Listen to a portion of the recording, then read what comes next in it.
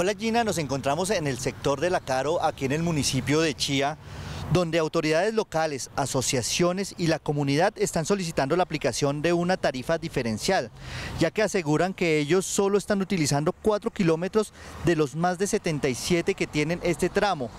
Además, que esto está contemplado en la Ley 105 que desde 1993 estableció que las tasas de peaje se fijarán en proporción a las distancias recorridas, las características vehiculares y sus respectivos costos de operación.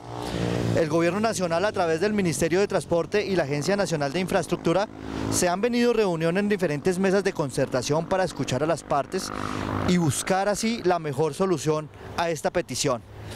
En definitiva, Gina, esta es una problemática que afecta pues, a esta comunidad y nosotros seguiremos atentos al desarrollo de este proceso. Oscar Roballo desde Chía para Enlace 13.